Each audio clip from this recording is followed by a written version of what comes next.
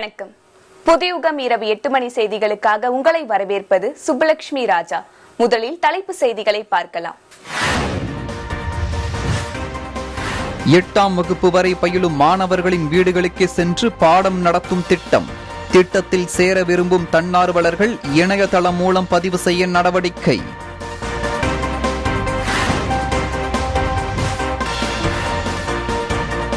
கேரளாவின் இடுக்கி அணை வேகமாக நிரம்பி வருவதால் இரண்டாம் கட்ட வெள்ள அபாய எச்சரிக்கை. கரையோர மக்கள் பாதுகாப்பாக இருக்க கோரிக்கை.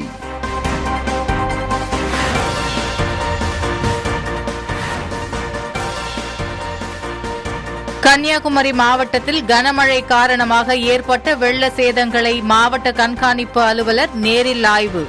இழப்பீடு வழங்க பாதிக்கப்பட்ட விவசாயிகள் கோரிக்கை.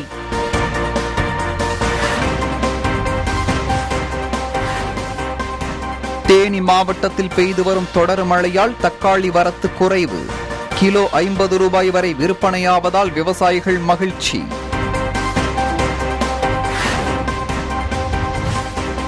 கடலூர் அரசு மருத்துவமனையில் எக்ஸ்ரே எடுக்க நாற்பது நாட்கள் வரை நோயாளிகள் காத்திருக்க வேண்டிய அவலம். போதிய ஊழியர்கள் இல்லாததால் நோயாளிகள் பாதிப்புக்குள்ளாவதாக புகார்.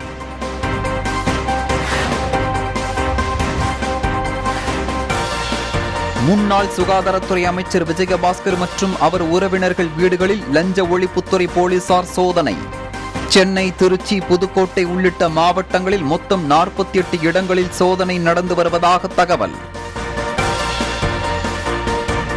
அடுத்ததாக தேசிய மற்றும் சர்வதேச நிகழ்வுகளை முக்கிய செய்திகளாக பார்க்கலாம்.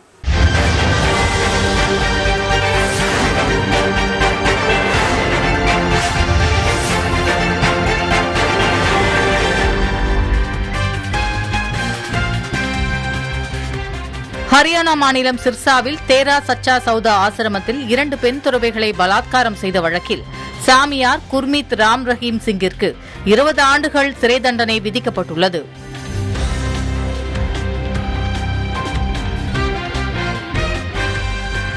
கோவாக்சின் தடுப்பூசிக்கு அவசர கால அனுமதி வழங்குவது தொடர்பாக உலக சுகாதார அமைப்பின் ஆலோசனைக் குழு அக்டோபர் இருபத்தாறாம் தேதி கூடுகிறது.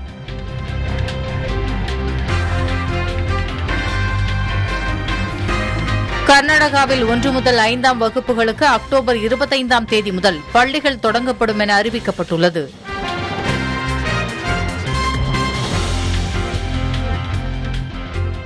அசோக் கெலாட் தலைமையிலான ராஜஸ்தான் அரசு தீபாவளி பண்டிகைக்கு இரண்டு மணி நேரம் மட்டும் பட்டாசுகளை வெடிக்க மக்களுக்கு அனுமதி அளித்துள்ளது.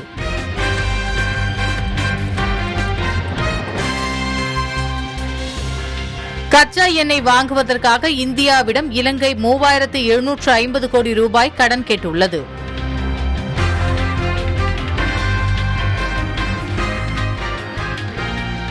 உலகம் முழுவதும் கொரோனாவால் பாதிக்கப்பட்டோர் எண்ணிக்கை இருபத்தி நான்கு புள்ளி ஒன்று நான்கு கோடியாக உயர்ந்துள்ளது.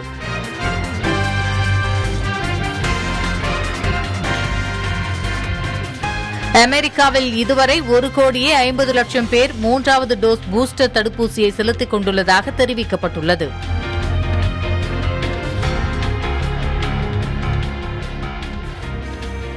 இந்தியாவில் அனைத்து முதலீட்டாளர்களுக்கும் தொழிலதிபர்களுக்கும் நல்ல வாய்ப்பு உள்ளது என்று மத்திய நிதி மந்திரி நிர்மலா சீதாராமன் அமெரிக்காவில் பேசினார்.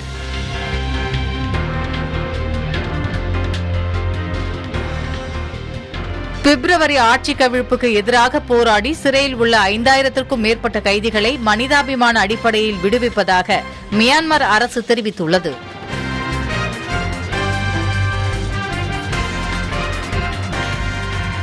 இருபது ஓவர் உலகக்கோப்பை கிரிக்கெட் போட்டிக்கான பயிற்சி ஆட்டத்தில் இந்தியா இங்கிலாந்து அணிகள் விளையாடி வருகின்றன.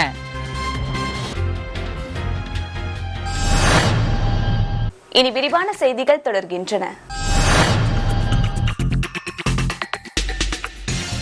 இல்லம் தேடி கல்வி திட்டம் தொடர்பாக முதலமைச்சர் ஸ்டாலின் ஆலோசனை நடத்தினார். கொரோனா காரணமாக தமிழ்நாட்டில் கடந்த ஒன்றரை ஆண்டுகளாக ஒன்று முதல் எட்டாம் வகுப்பு வரையிலான மாணவர்கள் பள்ளிக்கு செல்லவில்லை. வருகிற ஒன்றாம் தேதி முதல் அனைத்து வகுப்புகளுக்கும் பள்ளிகள் திறக்கப்படுகின்றன. இதனிடையே ஒன்று முதல் எட்டாம் வகுப்பு வரையிலான மாணவர்களுக்கு இல்லம் தேடி கல்வி என்ற திட்டம் எட்டு மாவட்டங்களில் பரிசோதனை முறையில் தொடங்கப்பட்டுள்ளது. பள்ளிக் கல்வித்துறை அமைச்சர் அன்பில் மகேஷ் தொடங்கி வைத்த இந்த திட்டம் குறித்து முதலமைச்சர் மு க ஸ்டாலின் ஆலோசனை நடத்தினார். வீடு தேடி கல்வி திட்டத்தின் கீழ் கிராமத்தில் உள்ள பனிரெண்டாம் வகுப்பு முடித்த தன்னார்வலர்கள் ஒன்று முதல் ஐந்தாம் வகுப்பு வரையிலான மாணவர்களுக்கு மாலை நேரத்தில் அடிப்படை கல்வியை கற்றுத் தருவார்கள். ஆறு முதல் எட்டாம் வகுப்பு வரையிலான மாணவர்களுக்கு கல்லூரி பட்டம் முடித்த தன்னார்வலர்கள் பாடங்களை கற்றுத் தருவார்கள். இந்த திட்டத்தில் சேர விரும்பும் தன்னார்வலர்கள் பதிவு செய்வதற்காக ஓர் இணையதளமும் தொடங்கப்பட்டுள்ளது.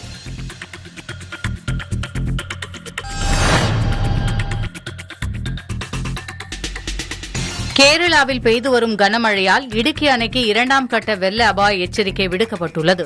கேரள மாநிலம் இடுக்கி மாவட்டம் சிறுதோணி அருகே பெரியாற்றின் குறுக்கே இடுக்கி அணை கட்டப்பட்டது.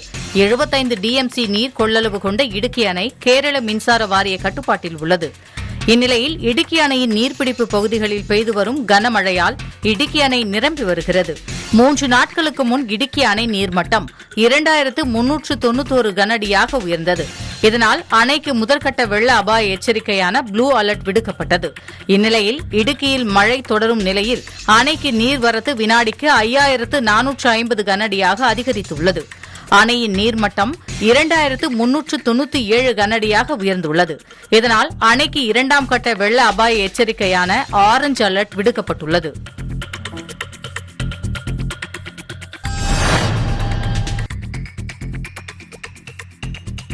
கன்னியாகுமரி மாவட்டத்தில் கனமழை காரணமாக பாதிக்கப்பட்ட விவசாயிகளுக்கு இழப்பீடு வழங்க விவசாயிகள் கோரிக்கை விடுத்துள்ளனர். மாவட்டத்தின் பல இடங்களில் தேவைக்கு அதிகமாக மழை பெய்ததால் சுமார் ஏழாயிரம் ஹெக்டேர் நிலப்பரப்பில் நெல் சாகுபடி செய்து வரும் விவசாயிகள் வேதனை அடைந்துள்ளனர். மேலும் செண்பகராமன் புதூர் பகுதியில் பயிரிடப்பட்டு முழு விளைச்சலை எட்டிய சுமார் இருநூறு ஏக்கர் நெல் பயிர்கள் மழைநீரில் மூழ்கின. பயிர் காப்பீடு செய்யாத விவசாயிகளுக்கும் அரசு உரிய இழப்பீடு வழங்க வேண்டும் என கோரிக்கை விடுத்துள்ளனர். ஏக்கர் இதில் மொத்தத்தில். போ போக்கு தான் ஒன்றுக்கும் ஃபுல்லாக அதனால் கவர்மெண்ட் பார்த்து எங்களுக்கு ஏதாவது நாங்கள் காப்பீடு கீப்பீடு ஒன்றும் பண்ணலை. இதுவரை காப்பீடு பண்ணதும் கிடையாது. இதுவரை நாங்கள் எதுவும் நஷ்டது போனதும் கிடையாது. ஆனால் எங்களுக்கு இந்த இடம் இந்த மழையினால் கடுமையான ஒரு சேதம் வந்து சேர்ந்துக்கிட்டு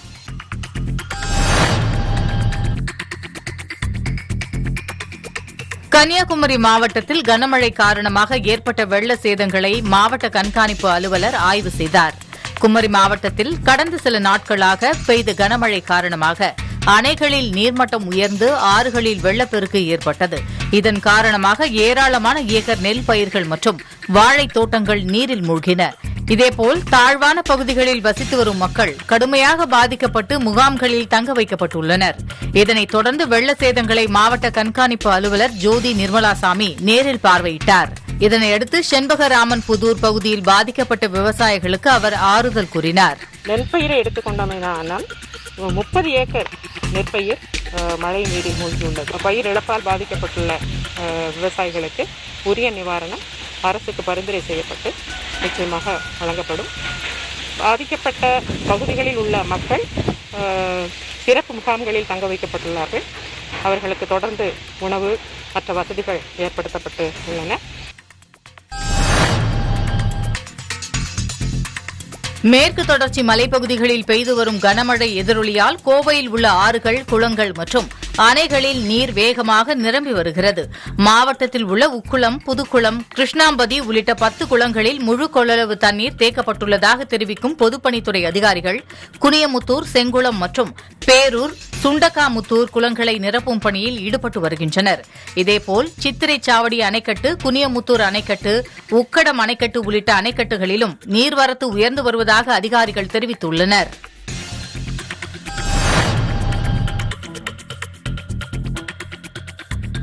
கர்நாடக மாநிலம் கெளவரப்பள்ளி அணை திறக்கப்பட்டதால் தென்பெண்ணை ஆற்றில் நீர்வரத்து அதிகரித்துள்ளது. இதனால் திருவண்ணாமலையில் உள்ள சாத்தனூர் அணையின் நீர்மட்டம் தொன்னூற்று ஐந்து புள்ளி ஐந்து பூஜ்ஜியம் அடியாக உயர்ந்துள்ளது. அணையின் முழு கொள்ளளவான ஏழாயிரத்து முன்னூற்று இருபத்தோரு மில்லியன் கன அடியில் தற்போதைய நீர் இருப்பு மூன்றாயிரத்து நானூற்று இருபத்தி இரண்டு மில்லியன் கன அடியாக உள்ளது. அணைப்பகுதியில் நேற்று பெய்த மழையளவு ஐந்து புள்ளி இரண்டு மில்லிமீட்டர் என பொதுப்பணித்துறை அதிகாரிகள் தெரிவித்துள்ளனா்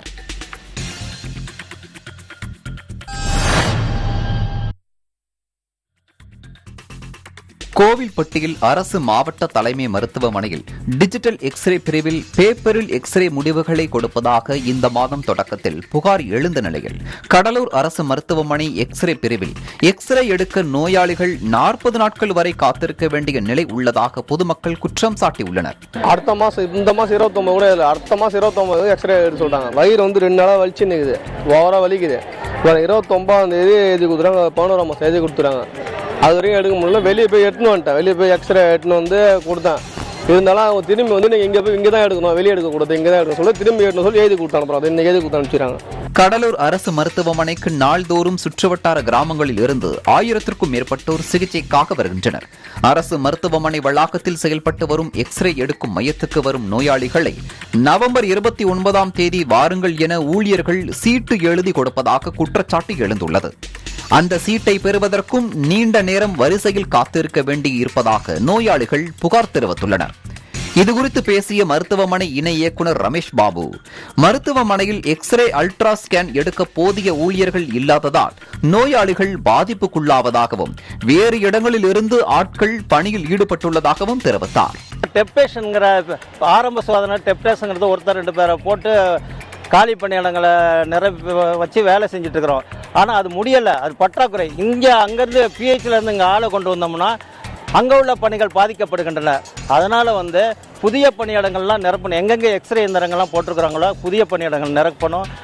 மற்ற மருத்துவமனை ஊழியர்களை தற்காலிகமாக இங்கு பணியமர்த்துவதால் நிலைமை சீரடையாது எனவும் தமிழக அரசு விரைந்து காலி பணியிடங்களை நிரப்பினால் மட்டுமே நோயாளிகள் உரிய நேரத்தில் எக்ஸ்ரே எடுக்க முடியும் எனவும் அரசு மருத்துவமனை எக்ஸ்ரே பிரிவு சங்க மாநில தலைவர் தெரிவித்துள்ளார். ஆள் பற்றாக்குறையாக இருக்கின்ற அந்த ஆள் பற்றாக்குறை இருக்குது. புதிய எக்ஸ்ரே ரேடியோகிராஃபர் டாக்டர் மஸ்டன் நுண்கதி உடனாளர் பணியிடங்களை உடனடியாக நிரப்ப வேண்டும் என்று ஒரு கோரிக்கையாக தமிழக அரசிடம் நாங்கள் வைக்கின்றோம். ஒரு சார் வரவே இல்லை. அவரால் தான் இவ்வளோ லேட்டு இவ்வளோ கும்பல்னா இவ்வளோ கும்பல் இருக்கவே இருக்காது. அவர் லீவ் போடுறது சொல்லவே இல்லை ஃபஸ்ட்டு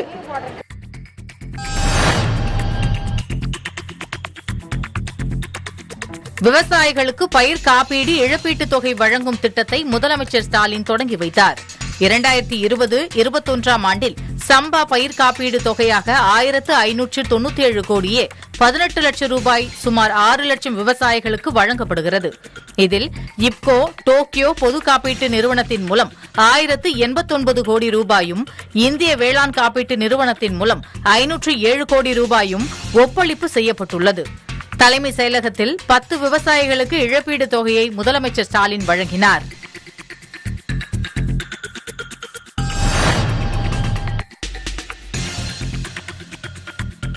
தமிழகத்தில் நாட்டுக்கோழி இனப்பெருக்கத்திற்காக கட்டப்பட்ட வளாகம் மீன் வளர்ப்பு தொழில்நுட்ப தொழில்சார் கல்வி நிலைய கட்டிடம் மற்றும் வளங்குன்றா உயிரி வளர்ப்பு மைய கட்டிடத்தை முதலமைச்சர் ஸ்டாலின் திறந்து வைத்தார். கிருஷ்ணகிரி மாவட்டம் ஓசூரில் மாவட்ட கால்நடை பண்ணையில் ஆறு கோடியே எழுபத்து நான்கு லட்சத்து எண்பத்தி ஏழாயிரத்து ஐநூறு ரூபாய் மதிப்பீட்டில் நாட்டுக்கோழி இனப்பெருக்கத்திற்காக வளாகம் கட்டி முடிக்கப்பட்டது. இதனை சென்னை தலைமை செயலகத்திலிருந்து முதலமைச்சர் ஸ்டாலின் திறந்து வைத்தார். அதேபோல் தமிழ்நாடு டாக்டர் ஜே ஜெயலலிதா மீன்வள பல்கலைக்கழகத்தின் சார்பில் செங்கல்பட்டு மாவட்டம் முட்டுக்காட்டில் கட்டப்பட்டுள்ள மீன் வளர்ப்பு தொழில்நுட்ப தொழில்சார் கல்வி நிலைய கட்டிடம் மற்றும் திருச்சியில் ஜீயபுரத்தில் கட்டப்பட்டுள்ள வளங்குன்றா நீருயிரி வளர்ப்பு மைய கட்டிடம் ஆகியவற்றையும் முதலமைச்சர் திறந்து வைத்தார். செய்திகள் தொடர்கின்றன. எரிபொருள் தேவைக்காக வெட்டப்படும் பனை மரங்கள் வீட்டு மாடியிலேயே நாற்றங்கால் வளர்க்கும் விவசாயி குடியிருப்பு பகுதியில் புகுந்த புலி உள்ளிட்ட செய்திகளை தற்போது பார்க்கலாம். மயிலாடுதுறை மாவட்டம் தரங்கம்பாடி தாலுகா பெரம்பூர் கிராமத்தை சேர்ந்தவர் விவசாயி பாலமுருகன். இயற்கை ஆர்வலரான இவர் தனக்கு சொந்தமான ஐந்து ஏக்கர் நிலத்தில் நஞ்சில்லா பாரம்பரிய நெல் ரகங்களான ஆத்தூர் கிச்சிலி சம்பா தூய மல்லி கருப்பு கவுனி போன்ற ரகங்களை விளைவிக்க விரும்பினார். பொதுவாக வயலில் நாற்றங்கால் வளர்க்க வயலில் தண்ணீர் பாய்ச்சி உழவடித்து நிலத்தை சமன்படுத்தி மேட்டுப்பாத்தி அமைத்து நாற்றங்கால் வளர்ப்பதைப் போல் இல்லாமல் தனது வீட்டு மாடியிலேயே நாற்றங்கால் வளர்ப்பது குறித்து யோசித்து அதற்கான நடவடிக்கையிலும் இறங்கியுள்ளார். முதற்கட்டமாக ஒன்றரை ஏக்கருக்கான ஆத்தூர் கிச்சிலி சம்பா ஒன்றரை ஏக்கருக்கான தூயமல்லி நாற்றங்கால்களை மாடியிலேயே உருவாக்கியுள்ளார். சேரில்லா விவசாய முறையாக முற்றிலும் புதிய தொழில்நுட்பத்தை பயன்படுத்தி இயந்திர நடவுக்கான நாற்றுகளை சேருக்கு பதிலாக கருக்காய் தேங்காய் நார் கழிவு உரம் மரத்துள் போன்றவற்றை கொண்டு ட்ரேயில் நெல் விதைகளை பரப்பி நாற்றுகளை உருவாக்கியுள்ளார்.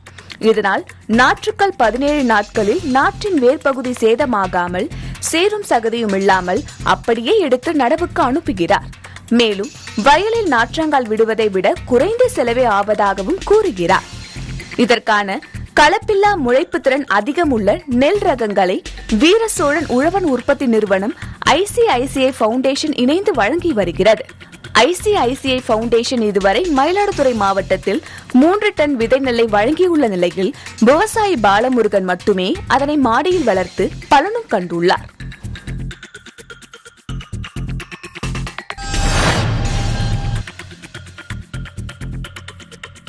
தேனி மாவட்டத்தில் பெய்து வரும் தொடர் மழையால் தக்காளி விளைச்சல் குறைந்து விலை அதிகரித்துள்ளதால் விவசாயிகள் மகிழ்ச்சி தெரிவித்துள்ளனர். தேனி மாவட்டத்தில் உள்ள போடி தேவாரம் கோம்பை மற்றும் அதனை சுற்றியுள்ள கிராம பகுதிகளான பண்ணைபுரம் ஏர்னம்பட்டி ராசிங்காபுரம் மல்லிங்காபுரம் ஆகிய கிராமங்களில் அதிகப்படியாக தக்காளி விவசாயம் நடைபெற்று வருகிறது. தற்போது ஒரு கிலோ தக்காளி ஐம்பது ரூபாய்க்கும் பனிரண்டு கிலோ கொண்ட ஒரு பெட்டியை வியாபாரிகளுக்கு நானூற்று ஐம்பது ரூபாய் முதல் ஐநூறு ரூபாய் வரை விற்பனை செய்து வருவதாக விவசாயிகள் தெரிவித்துள்ளனர்.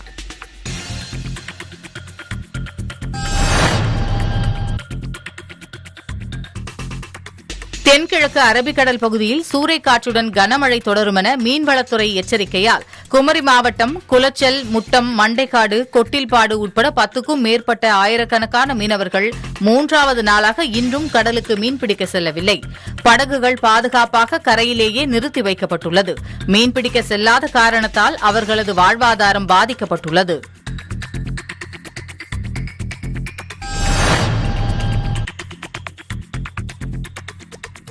நீண்ட ஆண்டுகளாக கிடப்பில் போடப்பட்ட திருத்துறைப்பூண்டி திருக்குவளை வேளாங்கண்ணி அகல ரயில் பாதை பணிகளை மத்திய அரசு விரைவுபடுத்த வேண்டும் என கோரிக்கை விடுக்கப்பட்டுள்ளது.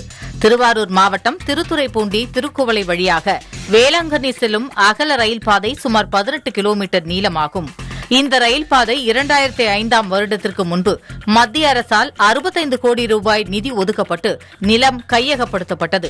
இதனைத் தொடர்ந்து நடைபெற்ற அனைத்து பணிகளும் கிடப்பில் போடப்பட்டுள்ளது. இந்த ரயில் பாதை திருத்துறைப்பூண்டி ரயில் பாதையுடன் இணைக்கப்பட்டால் பாலக்காடு கோழிக்கோடு நாகர்கோவில் செல்லக்கூடிய சிறப்பு பாதையாக அமைந்து பயணம் நூறு கிலோமீட்டர் வரை குறைந்தும் எரிபொருள் பயண செலவு குறைந்து சரக்கு போக்குவரத்திற்கு லாபகரமாக இருக்கும் என்பதால் திருத்துறைப்பூண்டி திருக்குவளை வழியாக செல்லும் வேளாங்கண்ணி அகல ரயில் பாதை பணியை விரைந்து தொடங்க வேண்டும் என பொதுமக்கள் மற்றும் சமூக ஆர்வலர்கள் கோரிக்கை விடுத்துள்ளனர். இந்த ரயில்வே ட்ராக் வந்து கிட்டத்தட்ட ஒரு அறுபத்தஞ்சு கோடி நம்ம மத்திய அரசால் ஒதுக்கப்பட்டு வேலை ஆரம்பித்து நடந்துக்கிட்டு இருந்தது. ஆனால் அதுக்கப்புறம் வந்த எந்த அரசும் அதை தக்க ஒதுக்கீடு செய்யாமல் திருத்துறைப்பூண்டி வழியாக செல்லும் வகையில் இருந்தால் கிட்டத்தட்ட தென் மாவட்டங்களுக்கு மற்றும் கேரளாவுக்கு கிட்டத்தட்ட பார்த்தீங்கன்னா நூறு கிலோமீட்டர் வரைக்கும் குறைந்த தூரத்தில் சென்றடைய முடியும். இதற்கான நிதி ஒதுக்கீடு வாங்கி இந்த அகல ரயில் பாதையை உடனடியாக விரைந்து முடித்தால் இது அவசியம் பொதுமக்களும் பயன்பெறுவார்கள்.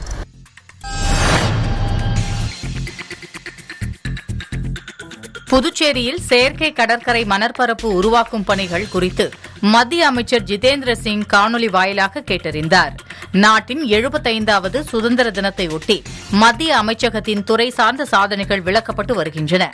அந்த வகையில் மத்திய புலி அறிவியல் அமைச்சகத்தின் கீழ் தேசிய கடல் ஆராய்ச்சி நிறுவனத்தின் சார்பில் புதுச்சேரியின் புராதன கடற்கரையை சீரமைக்கும் பணிகள் குறித்து இன்று அதிகாரிகள் புதுச்சேரியின் புராதன கடற்கரையில் செயற்கை மணல் பரப்பை உருவாக்க செயல்படுத்தப்படும் பணிகள் குறித்து ஆய்வு செய்தனர். இதனைத் தொடர்ந்து தலைமைச் செயலகத்தில் நடந்த நிகழ்ச்சியில் மத்திய புவி அறிவியல் அமைச்சகத்தின் அமைச்சர் ஜிதேந்திர சிங் காணொலி வாயிலாக இந்த பணிகள் குறித்து கடற்கரையை ஆய்வு செய்த அதிகாரிகளிடம் கேட்டறிந்தார். கடந்த முப்பது ஆண்டுகளுக்கு முன்பு புதுச்சேரியில் இருந்த கடற்கரை மணற்பரப்பை மீண்டும் உருவாக்குவதற்கான பணி நடைபெற்றதாக தெரிவித்தனர்.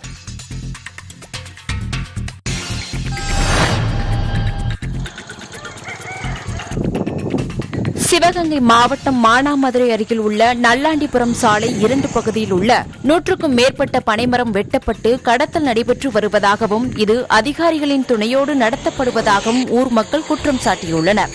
பனைகளை வெட்ட தடை சட்டம் கோரி தமிழகம் பனை வாழ்வியல் இயக்கம் சார்பில் மனுவும் அளிக்கப்பட்டு உள்ளதாகவும் தெரிவிக்கப்பட்டுள்ளது. சிவகங்கை மாவட்டம் மானாமதுரை பகுதிகளில் இருபத்தி ஐந்துக்கும் மேற்பட்ட செங்கல் சூளைகள் இயங்கி வருகின்றன.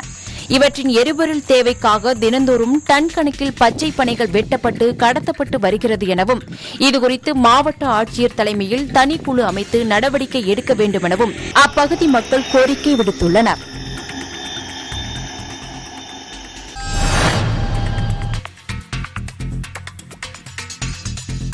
வால்பாறை குடியிருப்பு பகுதியில் பிடிபட்ட புலியை வனத்துறை உயரதிகாரி நேரில் பார்வையிட்டார். கோவை மாவட்டம் வால்பாறை முடீஸ் குடியிருப்பு பகுதியில் கடந்த மாதம் புலி ஒன்றின் நடமாட்டம் இருப்பதாக அப்பகுதி மக்கள் வனத்துறைக்கு தகவல் கொடுத்தனர். இதையடுத்து அதிகாரிகளின் உத்தரவுப்படி குடியிருப்பு பகுதியில் இருந்த புலியை கூண்டு வைத்து வனத்துறையினர் பிடித்தனர். புலி மிகவும் சோர்வுற்று இருந்த நிலையில் வால்பாறை பகுதியில் உள்ள மனித விலங்கு மோதல் அலுவலகத்தில் மருத்துவர்கள் மூலமாக பராமரித்து வந்தனர். அப்பகுதியில் அதிக வாகன இரைச்சல் இருந்த நிலையில் வால்பாறை வனசரக ரொட்டிக்கடை பகுதியில் பராமரித்த புலியை மானாம்பள்ளி வனசரகத்தில் இடமாற்றம் செய்தனர். இதற்கிடையில் புலியின் உடல்நலம் குறித்து ஆய்வு மேற்கொள்வதற்காக வனத்துறை முதன்மை தலைமை வன பாதுகாவலர் சேகர்குமார் நிரஜ் அவர்கள் மானாம்பள்ளி பகுதிக்கு நேரில் சென்று புலியை பார்வையிட்டார். மருத்துவர்களின் கண்காணிப்புக்கு பின்னர் அந்த புலி மீண்டும் வனப்பகுதியில் விடுவிக்க முடிவு செய்யப்படும் என தெரிவிக்கப்பட்டுள்ளது.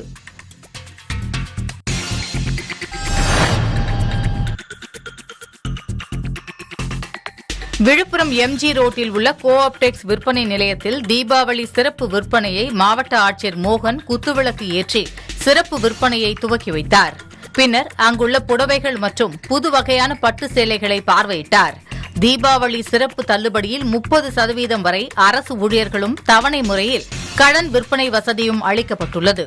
காஞ்சிபுரம் ஆரணி திருபுவனம் போன்ற ஊர்களில் உற்பத்தி செய்யப்பட்ட பட்டுப்புடவைகள் தமிழகத்தில் பல்வேறு பகுதிகளிலும் நெசவாளர்கள் கைவண்ணத்தில் உருவான பருத்தி சேலைகள் போர்வைகள் படுக்கை விரிப்புகள் வேட்டி துண்டு உள்ளிட்ட பல ரகங்கள் இங்கு விற்பனைக்காக வைக்கப்பட்டுள்ளன.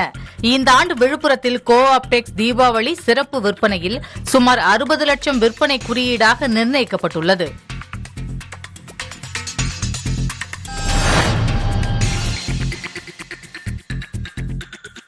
அறுபடை வீடுகளில் இரண்டாம் படை வீடான திருச்செந்தூர் சுப்பிரமணிய சுவாமி கோவிலில் இன்று ஐப்பசி மாத பிறப்பினை சிறப்பு பூஜையாக அஸ்திர தேவரான முருகனின் வேலிற்கு கடலில் புனித நீராடி தீர்த்தவாரி நடைபெற்றது.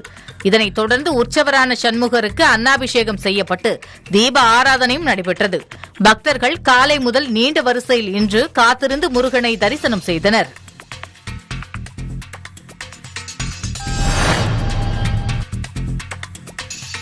தஞ்சை மாவட்டம் திருவையாறு அடுத்த திங்களூரில் நவகிரக ஸ்தலமான கைலாசநாதர் திருக்கோவில் அமைந்துள்ளது.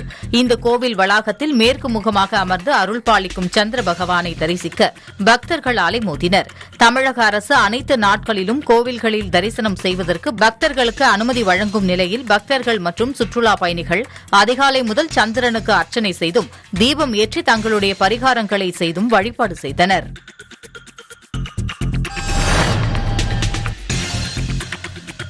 ஈரோடு மாவட்டத்தில் உள்ள கொடிவேரி அணைக்கு சுற்றுலா பயணிகள் வர பொதுப்பணித்துறை தடை விதித்துள்ளது. பவானிசாகர் அணையிலிருந்து தொடர்ந்து உபரி நீர் வெளியேற்றப்பட்டு வருவதால் கொடிவேரி அணை தற்காலிகமாக மூடப்பட்டு சுற்றுலா பயணிகளுக்கு தடை விதிக்கப்பட்டுள்ளது. செய்திகள் தொடர்கின்றன. வீடு வீடாக சென்று மாணவர்களுக்கு கல்வி பயிற்றுவிக்கும் அரசு பள்ளி ஆசிரியர். தீபாவளி பண்டிகை நெருங்கி வருவதால் வெள்ளம் உற்பத்தி பணிகள் தீவிரம். ஆன்லைன் ரம்மி விளையாடியதால் ஏற்பட்ட விபரீதம் உள்ளிட்ட செய்திகளை தற்போது பார்க்கலாம்.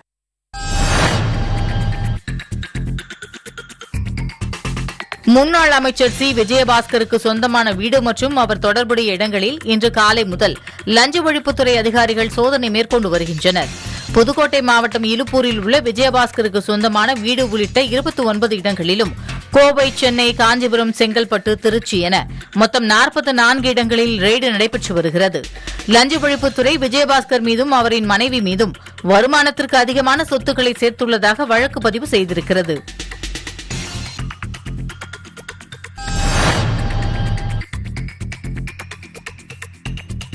தீபாவளி என்றாலே நம் அனைவரது மனதிலும் முதலில் தோன்றுவது பட்டாசுகள்தான்.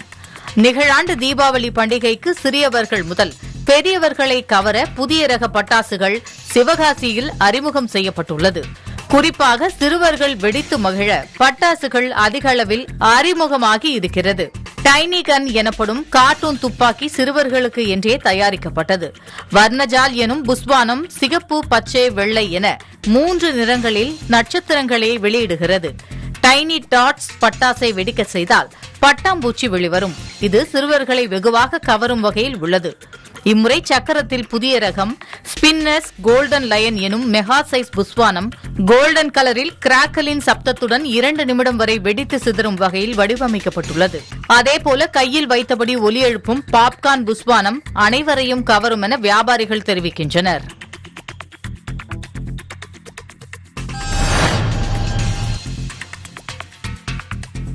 விருதுநகர் மாவட்டம் ஸ்ரீவில்லிபுத்தூர் அருகே உள்ள சதுரகிரி சுந்தர மகாலிங்கம் கோவிலில் ஐப்பசி மாத பிரதோஷத்தை முன்னிட்டு ஏராளமான பக்தர்கள் மலையேறி தரிசனம் செய்தனர். இந்த கோவிலில் பௌர்ணமிக்கு நான்கு நாட்கள் அமாவாசைக்கு நான்கு நாட்கள் என மாதத்திற்கு எட்டு நாட்கள் மட்டும் மலையேறி பக்தர்கள் தரிசனம் செய்ய அனுமதி வழங்கப்படும். இந்நிலையில் பிரதோஷத்தை முன்னிட்டு பல்வேறு மாவட்டங்களில் இருந்து அதிகாலை முதலே தானிப்பாறை வனத்துறை கேட்டிற்கு முன்பு பக்தர்கள் வருகை புரிந்தனர். பின்னர் காலை ஏழு மணிக்கு வனத்துறை திறக்கப்பட்டு பக்தர்கள் அரசு வழிகாட்டு நெறிமுறைகளை பின்பற்றி மலையேறி சுவாமி தரிசனம் செய்வதற்கு பக்தர்கள் அனுமதிக்கப்பட்டனர். இதனையடுத்து பக்தர்கள் மலைபாதை வழியாக சதுரகிரி சுந்தர மகாலிங்கம் கோவிலுக்கு சென்று சுவாமி தரிசனம் செய்தனர்.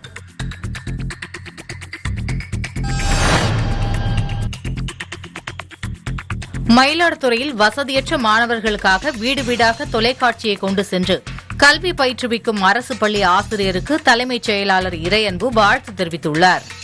சீர்காழி அருகே நிம்மேரி ஊராட்சி ஒன்றிய நடுநிலைப் பள்ளியில் ஆசிரியராக பணியாற்றி வருபவர் ஸ்ரீனிவாசன்.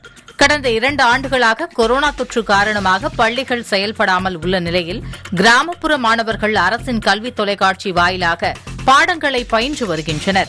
பல மாணவர்களின் வீடுகளில் வறுமையின் காரணமாக தொலைக்காட்சி இல்லாததால் கல்வி பாதிக்கப்பட்டு வந்தது. இதனை அறிந்த ஆசிரியர் ஸ்ரீனிவாசன் மாணவர்களுக்கு கல்வி பாதிக்காத வகையில் தனது சொந்த செலவில் நடமாடும் வீல் சேர் ஒன்றில் எல்இடி டிவி ஒலிபெருக்கி மடிக்கணினி இணைய வசதி உள்ளிட்ட அமைப்புகளை பொருத்தி நிம்மேரி கிராமத்தில் தெரு தெருவாக சென்று மாணவர்களை ஒருங்கிணைத்து கல்வி தொலைக்காட்சி வாயிலாக பாடங்களை நடத்தினார்.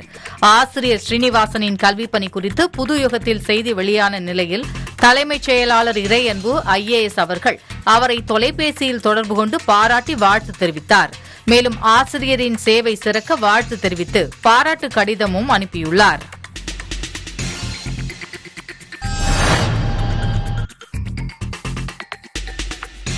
தமிழகத்தில் விளையாட்டு கோட்டா மூலம் வேலை வாய்ப்புக்காக காத்திருக்கும் மாணவர்கள் விளையாட்டுப் போட்டிகளை நடத்த அரசுக்கு கோரிக்கை விடுத்துள்ளனர். சேலம் மாவட்டம் ஓமலூரில் பெரியார் பல்கலைக்கழகம் செயல்பட்டு வருகிறது. இந்த பல்கலைக்கழகத்திற்குட்பட்ட கல்லூரிகளுக்கு இடையில் தடகள குழு விளையாட்டுப் போட்டிகள் நடத்தப்படும். இதில் தேர்வாகும் சிறந்த வீரர் வீராங்கனைகளுக்கு பல்கலைக்கழகங்களுக்கு இடையேயான போட்டிகள் தகுதி பெறுவதோடு படிவு மூன்று சான்றிதழ் பெறுவர். இந்த சான்றிதழ் மூலம் விளையாட்டு கோட்டாவில் பல்வேறு துறைகளில் வேலைவாய்ப்பு பெறுவர். ஆண்டுதோறும் ஒவ்வொரு பல்கலைக்கழகத்தின் மூலம் குறைந்தது முன்னூறு பேராவது வேலைவாய்ப்பு பெறுவர். கடந்த ஆண்டு கொரோனாவை காரணமாக்கி விளையாட்டு போட்டிகளை நடத்தப்படவில்லை. நடப்பு ஆண்டும் கொரோனாவை காரணம் காட்டி விளையாட்டு போட்டிகள் நடத்தப்படாமல் உள்ளது. தற்போது கொரோனா குறைந்துள்ளதால் உரிய கொரோனா வழிகாட்டுதல்களை பின்பற்றி விளையாட்டு போட்டிகளை நடத்த வேண்டும் என்று அரசுக்கு கோரிக்கை விடுக்கப்பட்டு உள்ளது.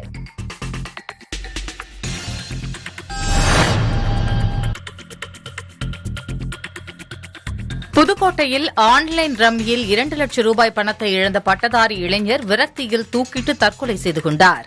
பி. மாத்தூரைச் சேர்ந்த சேகர் என்பவரின் மகன் அருண் இவர் சேலத்தில் உள்ள ஒரு தனியார் பல்கலைக்கழகத்தில் உடற்கல்வி ஆசிரியர் படிப்பு படித்துள்ளார். இவர் செல்போனில் ஆன்லைன் ரம்மி விளையாட்டு விளையாடி வந்ததாக கூறப்படுகிறது. தனது நண்பர்களிடமும் இரண்டு லட்சம் ரூபாய் வரை கடன் வாங்கி ஆன்லைன் ரம்மி விளையாடியுள்ளார். பணம் அனைத்தையும் இழந்துவிட்ட நிலையில் அருண் விரக்தியில் காணப்பட்டுள்ளார். இந்த நிலையில் மனமுடைந்த அருண் தனது வீட்டிற்குள் தூக்கிட்டு தற்கொலை செய்து கொண்டார். இந்த சம்பவம் அந்த பகுதியில் பெரும் சோகத்தை ஏற்படுத்தியுள்ளது. இதுகுறித்து செம்பட்டி விடுதி போலீசார் வழக்கு பதிவு செய்து விசாரணை மேற்கொண்டு வருகின்றனர்.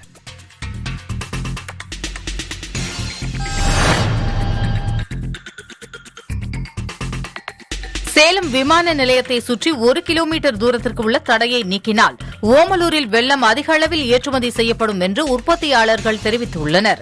ஓமலூர் காடையம்பட்டி வட்டார கிராமங்களான காமலாபுரம் பொட்டியாபுரம் சக்கரை செட்டிப்பட்டி நாலுகால் பாலம் தும்பிப்பாடி கருப்பூர் உள்பட பல்வேறு கிராமங்களில் நூற்றுக்கணக்கான கரும்பு ஆலைகள் செயல்படுகின்றன. தற்போது தீபாவளி பண்டிகை நெருங்கி வருவதால் தினமும் நூற்றி ஐம்பது முதல் இருநூறு டன் அளவிற்கு நாட்டு சர்க்கரை அச்சு வெள்ளம் உருண்டை வெள்ளம் உற்பத்தி செய்யப்பட்டு தமிழக மாவட்டங்களுக்கு மட்டுமின்றி கேரளா ஆந்திரா கர்நாடகா தெலுங்கானா மகாராஷ்டிரா உள்ளிட்ட பல்வேறு மாநிலங்களுக்கும் விற்பனைக்கு அனுப்பப்படுகிறது. இதனால் நேரடியாகவும் மறைமுகமாகவும் ஆயிரக்கணக்கானோர் வேலைவாய்ப்பை பெற்றுள்ளனர். இதற்கிடையில் விமான நிலையத்தை ஒட்டியுள்ள ஒரு கிலோமீட்டர் தூரத்திற்கு கரும்பு ஆலைகளை இயக்க தடை விதிக்கப்பட்டுள்ளது. இதனால் ஆயிரக்கணக்கான பெண்கள் மற்றும் தொழிலாளர்கள் வேலை இழந்துள்ளனர் தற்போது விமான போக்குவரத்து நிறுத்தப்பட்டுள்ளதால் கரும்பு ஆலைகளை இயக்க மாவட்ட நிர்வாகம் உதவி செய்ய வேண்டும் என்று ஆலை உரிமையாளர்களும் தொழிலாளர்களும் கோரிக்கை விடுத்துள்ளனர்.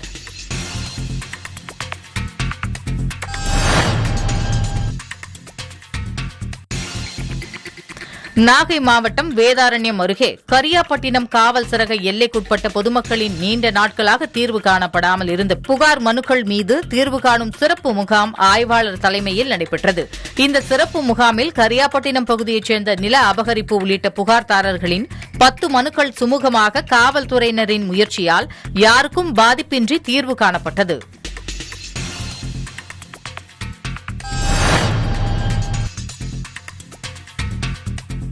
மதுரை திண்டுக்கல் தேனி ராமநாதபுரம் விருதுநகர் கன்னியாகுமரி தென்காசி நாகர்கோவில் உள்ளிட்ட பதினோரு மாவட்டங்களைச் சேர்ந்த காவலர்களுக்கான குறைதீர் கூட்டம் மதுரை ஆயுதப்படை மைதானத்தில் தென்மண்டல ஐஜி அன்பு தலைமையில் நடைபெற்றது. இதில் ஆயிரக்கணக்கான காவலர்கள் கலந்து கொண்டு பணியிட மாறுதல் மற்றும் பதவி உயர்வு மற்றும் துறை சார்ந்த தங்களின் தேவைகள் குறித்த பல்வேறு கோரிக்கைகளை வழங்கினர். அனைத்து மனுக்கள் மீதும் நடவடிக்கை எடுக்கப்படும் என ஐஜி தெரிவித்தார். செய்திகள் தொடர்கின்றன.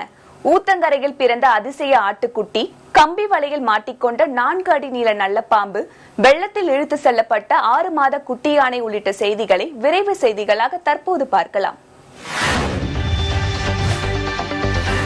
நேபாளில் நடைபெற்ற சர்வதேச டென்னிஸ் பால் கிரிக்கெட்டில் பங்கேற்று பதக்கம் வென்ற தமிழக வீரர்களுக்கு சிறப்பான வரவேற்பு அளிக்கப்பட்டது.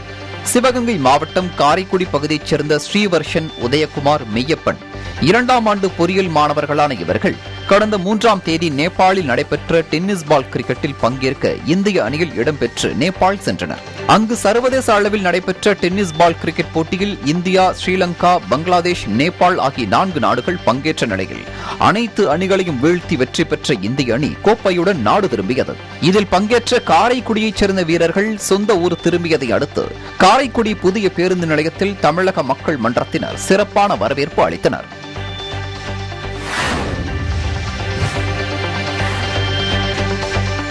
ஊத்தங்கரை அருகே பிறந்த அதிசய ஆட்டுக்குட்டியை அந்த பகுதியினர் ஆர்வமுடன் பார்த்து செல்கின்றனர். கிருஷ்ணகிரி மாவட்டம் ஊத்தங்கரை அருகே உள்ள நாப்பராம்பட்டி கிராமத்தைச் சேர்ந்தவர் பெருமாள். இவர் தனது ஆட்டு கொட்டகையில் இருபதுக்கும் மேற்பட்ட ஆடுகளை வளர்த்து வந்த நிலையில் ஆடு ஒன்று குட்டியை ஈன்றது. அந்த குட்டி அதிசயமாக ஒரு தலை இரண்டு உடல் எட்டு கால்களுடன் இறந்த நிலையில் பிறந்தது. இதனை கண்ட ஆட்டின் உரிமையாளர் மற்றும் பொதுமக்கள் மிகுந்த வியப்பில் ஆழ்ந்தனர். ஆனால் அதன் உரிமையாளர் தனது ஆடு இதுபோன்று குட்டி ஈன்றது தனக்கு மிகுந்த வருத்தமளிப்பதாக தெரிவித்துள்ளார்.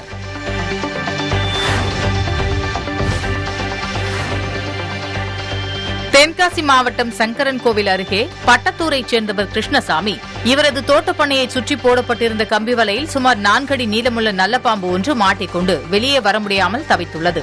இதை அறிந்த தீயணைப்பு வீரர்கள் விரைந்து சென்று நல்ல பாம்பை மீட்டு வனப்பகுதியில் விட்டனர்.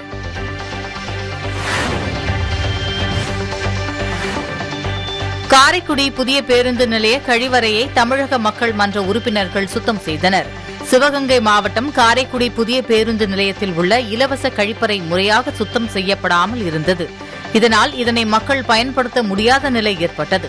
இதனை நகராட்சி ஊழியர்கள் சுத்தம் செய்யாத நிலையில் தனியார் அமைப்பான தமிழக மக்கள் மன்ற உறுப்பினர்கள் கழிவறையை சுத்தம் செய்தனர்.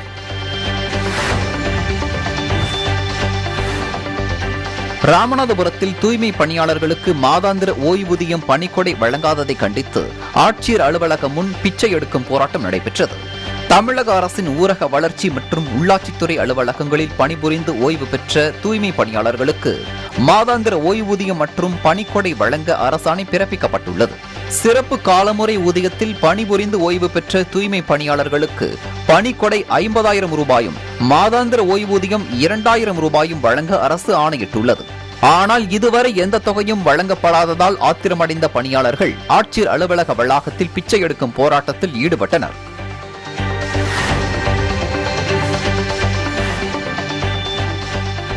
கடலூர் அருகே உள்ள கிராம மக்கள் ஆதார் அடையாள அட்டை ரேஷன் கார்டு உள்ளிட்டவை ஒப்படைக்கப் போவதாக கூறி ஆட்சியர் அலுவலகத்தை முற்றுகையிட்டனர். கடலூர் மாவட்டம் விருதாச்சலம் அருகே உள்ள குப்பணத்தம் கிராமத்தில் வசிக்கும் ஐயாசாமி என்பவரது வகையராக்களுக்கும் மற்றவர்களுக்கும் பல்வேறு இன்னல்களை கொடுப்பதாக கூறப்படுகிறது. இதுகுறித்து விருதாச்சலம் காவல் நிலையத்தில் புகார் அளித்தும் நடவடிக்கை எடுக்கப்படவில்லை.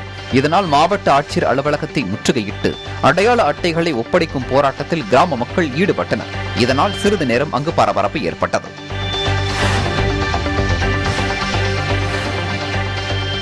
குமரி மாவட்டம் கோதையார் வழியாக ஒரு குட்டி யானையின் உடல் வெள்ளத்தில் இழுத்துச் செல்லப்படுவதாக கிடைத்த தகவலை அடுத்து வனத்துறையினர் கோதமடக்கு பகுதியில் யானைக்குட்டியின் உடலை கண்டுபிடித்தனர். இதையடுத்து பிறந்து சுமார் ஆறு மாதமான யானைக்குட்டியின் உடலை மீட்கும் பணியில் வனத்துறையினர் ஈடுபட்டுள்ளனர். மேலும் யானைக்குட்டியின் உடலை மீட்டு பிரேத பரிசோதனை செய்த பிறகே இது எப்படி இறந்தது என்பது குறித்து தெரியவரும் எனவும் தெரிவிக்கப்பட்டுள்ளது.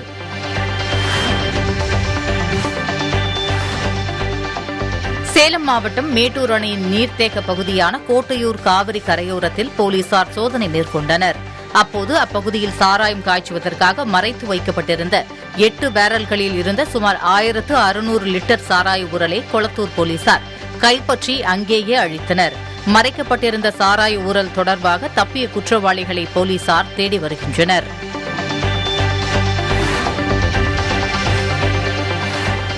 நாகை மாவட்டம் வேதாரண்யம் பகுதியில் பிஎஸ்என்எல் நிறுவனத்திற்கு சொந்தமான கேபிள் ஒயர் செம்பு கம்பிகள் திருடிய நபரை போலீசார் கைது செய்தனர். சம்பவம் தொடர்பாக வேதாரண்யம் உட்கோட்ட பிஎஸ்என்எல் இளநிலை பொறியாளர் பிரதீப் குமார் வேதாரண்யம் காவல் நிலையத்தில் புகார் கொடுத்திருந்த நிலையில் தனிப்படை அமைத்து கொள்ளையர்களை தேடி வந்தனர். தமிழ்ச்செல்வம் என்பவர் கைது செய்யப்பட்ட நிலையில் ஒன்று புள்ளி இரண்டு எட்டு லட்சம் ரூபாய் மதிப்புள்ள நானூற்றி இருபது மீட்டர் நீளமுள்ள செப்பு கம்பிகள் மீட்கப்பட்டன. நாமக்கல் மாவட்டத்தில் வட்டார வள மையங்களில் பணியாற்றி வரும் எண்பத்தி ஏழு ஆசிரியர் பயிற்றுநர்கள் மற்றும் ஒருங்கிணைப்பாளர்களுக்கான பணிமாறுதல் கலந்தாய்வு கூட்டம் நடைபெற்றது. கூட்டத்தில் மாவட்ட முதன்மை கல்வி அலுவலர் பாலுமுத்து கலந்து கொண்டு கலந்தாய்வு பணிகளை பார்வையிட்டார். உலக விபத்து காய தினத்தை ஒட்டி மதுரை அரசு ராஜாஜி மருத்துவமனையில் விழிப்புணர்வு நிகழ்ச்சி நடைபெற்றது. இதில் அரசு மருத்துவமனை முதல்வர் ரத்னவேல் விபத்து மற்றும் தீக்காய சிகிச்சை பிரிவு மருத்துவர்கள் செவிலியர்கள் கலந்து கொண்டு உடற்காயங்களை உருவாக்கும் சாலை விபத்து மற்றும் தீ விபத்துகளில் இருந்து முன்னெச்சரிக்கையாக இருக்க வலியுறுத்தி உறுதிமொழி எடுத்துக் கொண்டனர். அதனைத் தொடர்ந்து கவனமாக வாகனம் ஓட்டுவோம் சாலை விதிகளை மதிப்போம் என்ற விழிப்புணர்வு பதாகைகளை ஏந்தி மருத்துவர்களும் செவிலியர்களும் சங்கிலி தொடர் போல் நின்று விழிப்புணர்வு ஏற்படுத்தினர்.